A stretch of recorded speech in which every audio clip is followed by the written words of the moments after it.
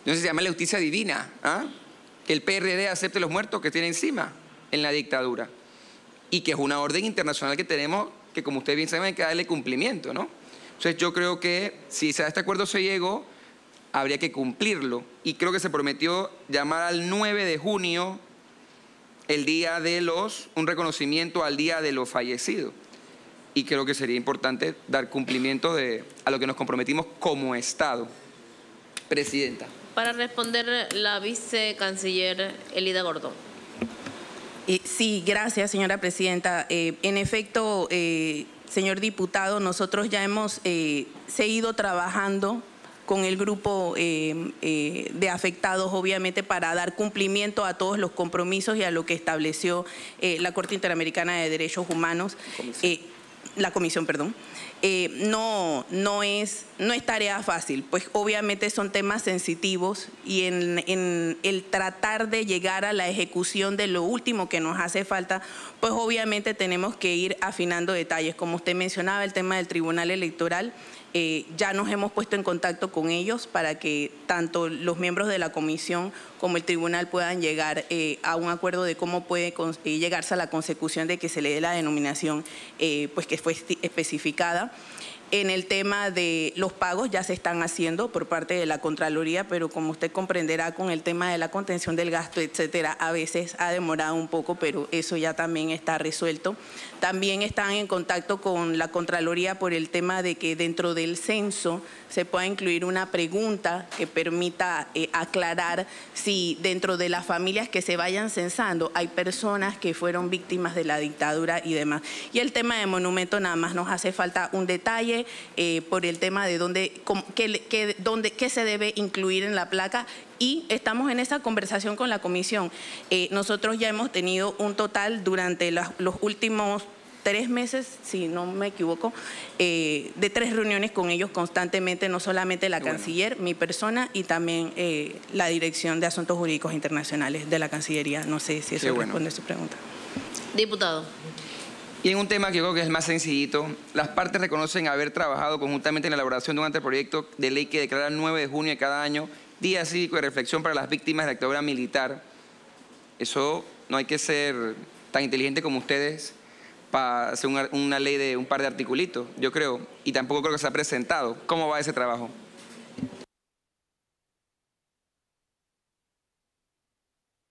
Realmente... Para contestar...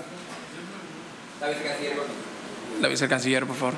Eh, sí, eh, eso sí está pendiente para que lo hagamos. Eso sí se lo reconozco. No, no tengo para decirle que ya estamos preparados para hacerlo. Pero es dentro de los puntos que estamos discutiendo también con los miembros de la comisión.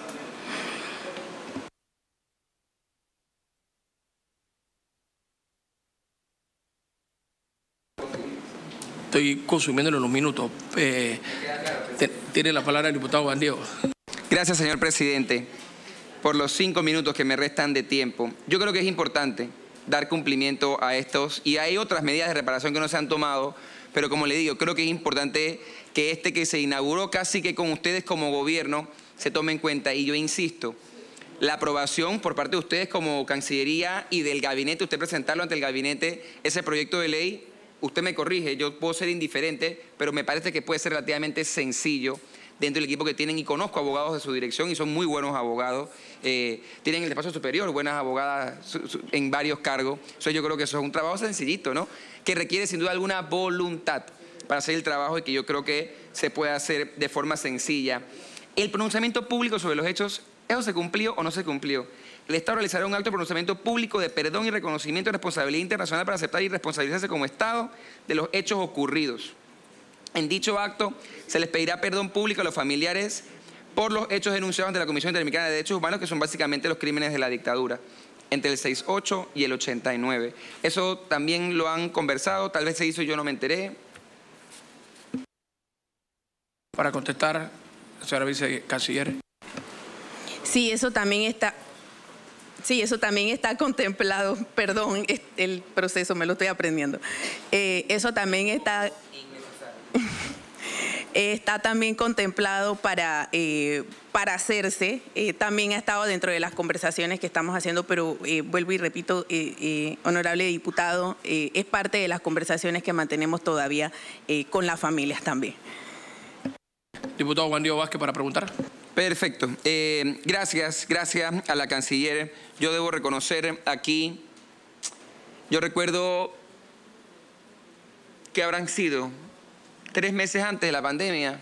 Tuvimos una reunión en la Cancillería, cuando la canciller en esa época no era canciller y teníamos muchos planes que algunos se han podido ejecutar cuando usted bueno, llegó al cargo, Dios dio esa oportunidad para poder avanzar en la agenda climática para el país, pero de quien usted más requiere apoyo de nuevo es de la parte de adentro. Entonces no podemos ser incoherentes, señora canciller. Y yo sé que usted tiene ese interés. Esta asamblea ha aprobado buenas normas en esa dirección, pero mientras avanzamos en eso, el contrato todavía más escondido de la historia, igual que el anteproyecto de Minera Panamá, va avanzando. Entonces yo me pregunto cómo se hace esa discusión para el tema del carbono positivo y todo lo demás.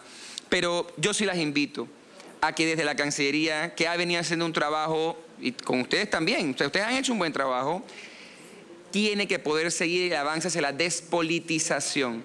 Y eso requiere que profesionales se entren a esas posiciones, lleguen por mérito, se mantengan por mérito y que se mejore el tema de la academia para todo lo que signifique las becas internacionales, el tema de incluir personas en la carrera que no vengan con referencias políticas y que tengan el conocimiento para hacer el trabajo en las embajadas van a contar siempre con mi apoyo y para mí es muy grato, siempre que me toca ir a diferentes eventos, ver a una u otra de las viceministras, a la ministra, al, al, secretario general, que lo he visto en varias ocasiones, y poder avanzar en esa agenda. Presenté un proyecto de ley para poder trabajar el tema del corredor pacífico, en el que hoy la ley permite que se casen mamíferos marinos. Y yo creo que es importante que todos esos, esos arreglos podamos irlos haciendo. La Asamblea, debo reconocer, ha estado muy abierta estos últimos tres años y tanto a aprobar normas contundentes en temas medioambientales y ojalá continúe en esa vocación porque creo que sin duda alguna es importante. Así que yo lo dejo de ese tamaño, señora ministra. Le agradezco a usted y a su equipo por las respuestas y bueno, ojalá podamos avanzar en esos temas que hemos estado conversando. Presidente. Gracias, diputado Juan Diego Vázquez. Coincidimos eh, casi el 95%, no habiendo otro orador con el diputado Juan Diego Vázquez. Solamente que como miembro del Comité Ejecutivo quiero aclarar al diputado Juan Diego que el PRD no tiene ni un muerto que cargar. Si hay casos pendientes, son las personas independientes que tienen que responder por cada uno de ellos. En la época post-torrijismo, después del 82. Diputado Juan Diego. 6898 dice el informe. Bueno, eso es Eh, y no ningún eso no es cierto eso no es cierto eso no es cierto eso no es cierto el- el mayor desarrollador de este país señora ministra le doy la palabra para que se despida para que nosotros nos podamos quedar aquí discutiendo con Juan Diego estos temas Gracias. Eh, gracias por permitirnos eh, estos breves minutos exponer nuestro planteamiento, los logros. Gracias por su tiempo a todos y gracias por la disposición que siempre tienen. Hasta luego.